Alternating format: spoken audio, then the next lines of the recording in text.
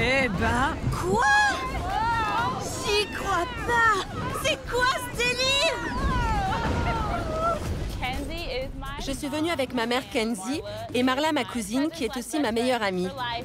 On comprend tout de suite pourquoi on s'appelle les bons gènes. Ma mère fait pas du tout son âge. On dirait clairement pas que c'est ma mère. C'est vrai. Bref, On est très proches, on se voit pratiquement tous les jours et on s'amuse comme des folles. Personne ne nous arrive à la cheville. personne. On est les plus belles et les plus drôles, on a toutes les qualités. On s'entraîne du matin au soir. Peu importe l'heure, on fait de l'exercice. Je me lève à 6 heures pour faire du sport. Les bons gènes vont gagner.